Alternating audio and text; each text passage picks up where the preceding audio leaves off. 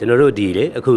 ဒီ88 25နှစ်မြောက်ငွေရတုအခမ်းအနားမှာပေါ့နော်အဲတခုကောင်းတဲ့တခုကတော့ကျွန်တော်တို့အမျိုးသားပြန်လည်တင်မြတ်ကြီးပေါ့နော်အဲ့ဒါနဲ့ပတ်သက်လို့ဥက္ကုကိုကြီးတို့ကဥဆောင်ပြီးဆွေးနွေးနေတယ်ဒီဟာကိုဘာလို့ရည်ရွယ်ချက်နဲ့လုပ်တယ်ဘာတွေရဖို့မျှော်လင့်ထားရဆိုတာလေးကိုတစ်ချက်လောက်ကျွန်တော်တို့ရှင်းပြပေးပါလားခင်ဗျာဟိုကျွန်တော်တို့လေးလေးနက်နက်စဉ်းစားလေကျွန်တော်တို့တာဝန်ကြီးလေပဲ။ဘာကြောင့်လဲဆိုတော့ရှစ်လေးလုံးရေတော်ပုံကြီးမှာလမ်းပေါ်မှာကြာဆုံးခဲ့တဲ့ရဲဘော်ရဲဘက်တွေဟလာကျွန်တော်တို့ဒီတစ်ကာလာကြီးတစ်ချောက်လုံးမှာထောင်ထဲမှာကျွန်တော်တို့လက်ပေါ်မှာ ကြာဆုံးခဲ့တဲ့ရဲဘော်ရဲဘက်တွေတော်တယ်နေရာအနှံ့မှာကြာဆုံးခဲ့တဲ့ရဲဘော်ရဲဘက်တွေအဲ့တော့သူတို့တောင်းဆိုခဲ့တဲ့ကြွေးကြော်တန်ကိုအကောင့်တွေပေါ်ဖို့ကကြံရစ်သူတွေမှာတာဝန်ရှိတယ်လို့ကျွန်တော်ကလေးလေးနက်နက်ခံယူတယ်။အဲ့တော့ဒီမိုကရေစီရင်းနဲ့လူခွင့်ရေးဆိုတာဟာအဲ့ဒီချိန်တုန်းကတခဲနဲ့ကြွေးကြော်ခဲ့တဲ့ကြွေးကြော်တန်အဲ့ဒီကြွေးကြော်တန်ဟာလက်တွေ့မှာငင်းချမ်းရေးနဲ့အမျိုးသားပြန်လည်တည်မြတ်ရေးမရှိရင်မတိဆောက်နိုင်ရင်အဲ့ဒီဒီမိုကရေစီနဲ့လူခွင့်ရေးအရတာကိုကျွန်တော်တို့ပြည်သူတွေခံစားရမှာမဟုတ်ဘူးအဲ့ဒီကြာဆုံးသူတွေရဲ့ စန္ဒလည်းအကောင့်တွေပေါ်လာမှာမဟုတ်ဘူးဒါကြောင့်ဒီနေ့25နှစ်မြောက်အခမ်းအနားမှာဥတီချက်ဖြစ်နေကျွန်တော်တို့ကငင်းချမ်းရေးနဲ့အမျိုးသားပြန်လည်တည်မြတ်ရေးဆိုတာကိုလေးလေးနက်နက်ချမှတ်ခဲ့တာပါ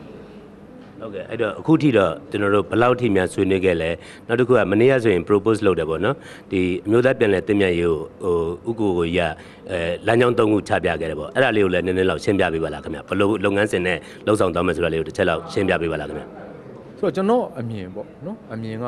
အမျိုးသားပြန်လဲတင့်မြတ်ရေးဆိုတဲ့စကားလုံးကိုပဲလေးလေးနက်နက်အတိတ်ပဲဖွင့်ဖို့လိုတယ်ဆိုတော့ပြန်လဲလို့ထည့်ထားတာကိုနိုင်ကမတင့်မြတ်လို့ပြန်လဲတင့်မြတ်ဖို့လုပ်နေရတာအဲ့တော့လက်ရှိကွဲလွဲမှုတွေမတင့်မြတ်မှုတွေရှိတယ်ဆိုတာကိုလေးလေးနက်နက်နားလည်ဖို့လက်ခံဖို့လိုတယ်နောက်အမျိုးသားဆိုတဲ့ကိစ္စဟာတန်နိုင်ငံလုံးတစ်မျိုးသားလုံးအတိုင်းအတာအထိကျေပြန့်တယ်ဆိုတဲ့အတိတ်ပဲဆောင်းတယ်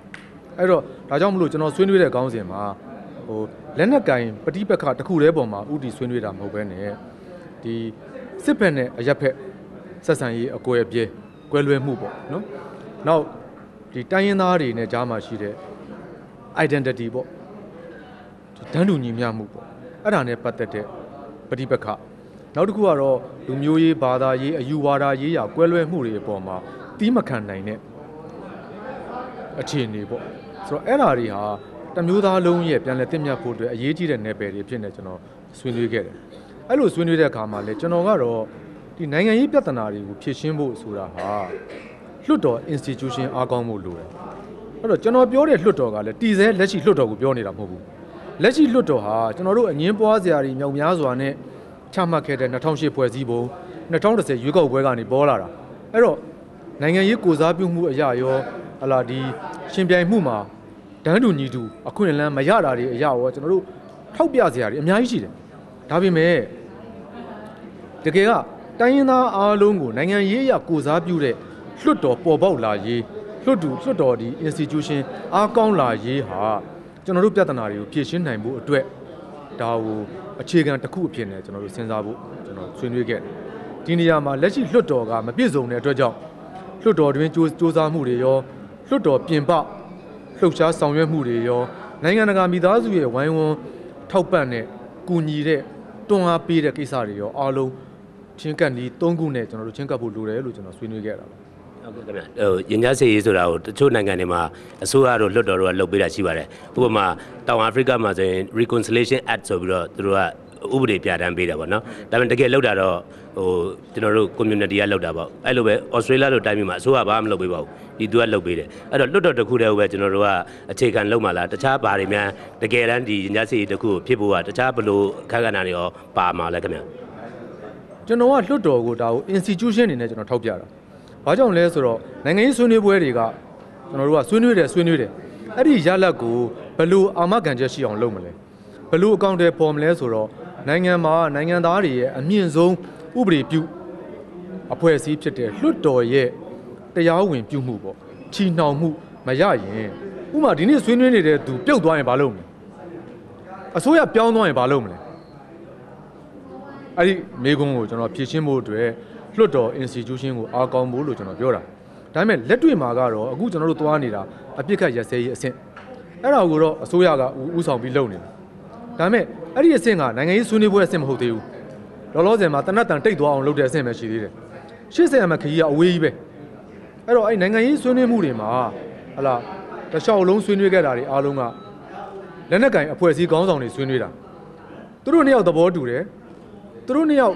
သဘောတူညီမှုပြက်ပြားသွားရင်စစ်ပွဲပြန်ဖြစ်တယ်အဲ့တော့ချီနှောင်မှုမရှိဘူး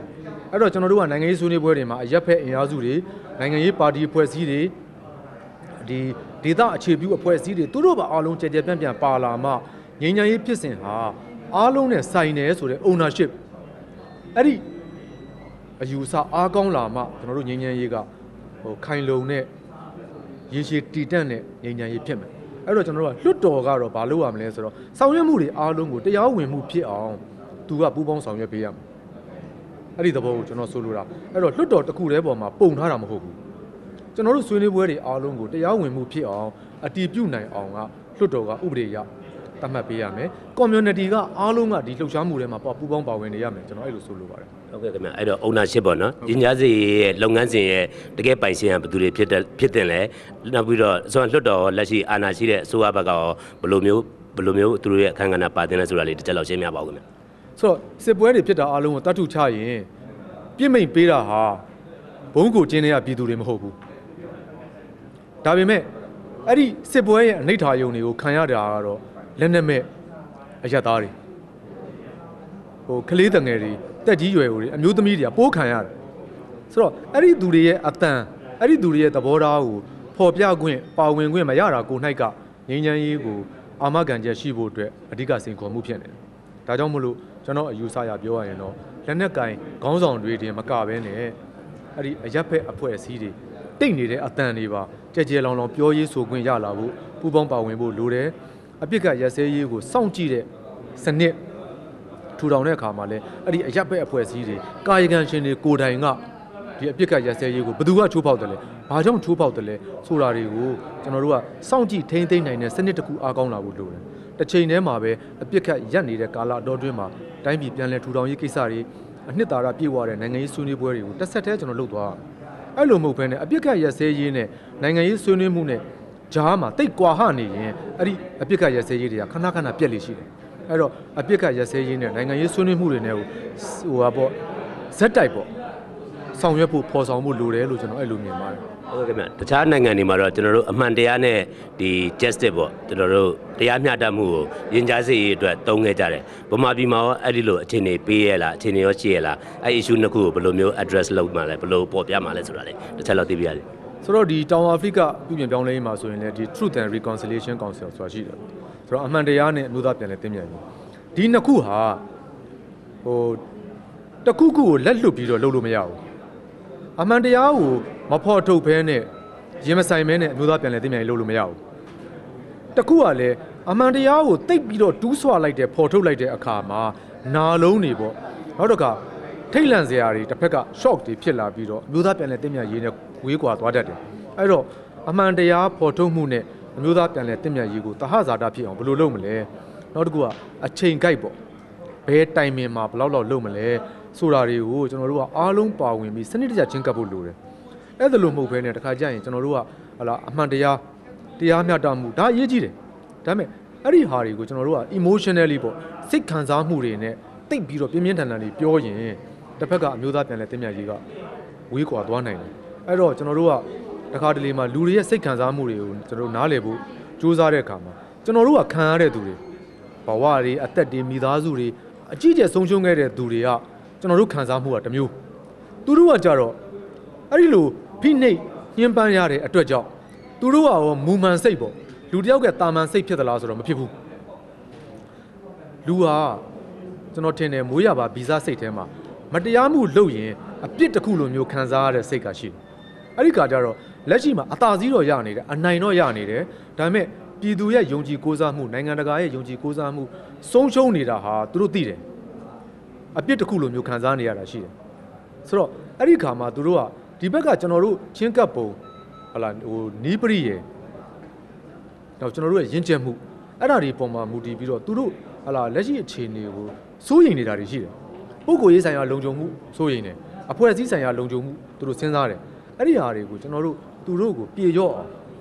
မျိုးသားပြန်လဲတင့်မြတ်ရေးဟာစိုးရင်စရာမဟုတ်ဘူးဟာလားရဲရဲရင်းရင်ကျွန်တော်တို့ရင်ဆိုင်ဖြည့်ရင်းချင်းအားဖြင့် ရလာမယ့်အသီးပွင့်တွေကိုအားလုံးခံစားရမှာဖြစ်တယ်ဆိုတာကိုယုံကြည်လာအောင်ကျွန်တော်တို့စ조사ဖို့လိုတယ်ဆိုတော့ဒါဟာတကယ်အမှုပညာတစ်ခုပဲကျွန်တော်တို့တစ်ချိန်တုန်းကဟာကတိုက်ပွဲတွေကြီးပဲလာတာတော့မတရားမှုကိုစန့်ကျင်တယ်ဆန္ဒပြတယ်တိုက်ပွဲဝင်တယ်ဆိုတော့ယဉ်ကျေးမှုပေါ့ကျွန်တော်တို့အခုဒီအကူပြောင်းကာလကအရန်အမှုပညာဆန်သွားပြီတစ်ဖက်ကလည်းမတရားတာတွေလည်းဆက်ပြောနေရမှာပဲဟာလာဆန္ဒပြတာတွေဆန္ဒဖော်ထုတ်တာတွေရှိနေမှာပဲဒါပေမဲ့တစ်ချိန်တည်းမှာအမျိုးသားပြန်လဲတင့်မြတ်ရေးဆိုတာကိုနက်နက်နဲနဲနားလေခံစားပြီးတော့ဥတီချက်ကို ဒါငါတို့အမျိုးသားပြန်လဲတင့်မြတ်ရေးကိုဥတီချက်နဲ့မတရားမှုပြောရင်တောင်မှအမျိုးသားပြန်လဲတင့်မြတ်ရေးဥတီဥတီချက်ကိုကျွန်တော်တို့ကဟိုတတိမူတာမျိုးတတိမပြုတ်မိတာမျိုးမဖြစ်အောင်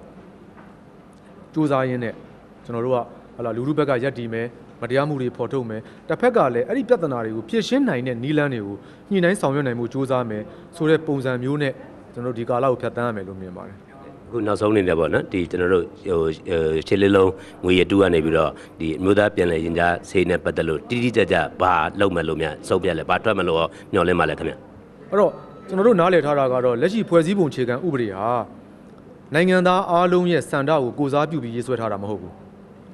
အဲ့တော့ဒီဖွဲ့စည်းပုံခြေခံဥပဒေဘောင်ထဲမှာလက်ရှိအမျိုးသားပြန်လည်တည်မြဲရေးပြဿနာကိုလည်းမဖြေရှင်းနိုင်ဘူးလို့ကျွန်တော်တို့ကတော့ယုံကြည်တယ်အဲ့တော့ဒီဖွဲ့စည်းပုံခြေခံဥပဒေမှာအဟံတားဖြစ်နေတဲ့ပြဿနာတွေ အခက်အခဲတွေအဲ့ဒါတွေကိုကျွန်တော်တို့ပြင်ဆင်ဖို့ဟာကျွန်တော်တို့အားလုံးကတက်တက်ကြွကြွနဲ့ဆောင်ရွက်ရမယ့်ကိစ္စလို့ကျွန်တော်တို့မြင်ပါတယ်။နောက်တစ်ခုက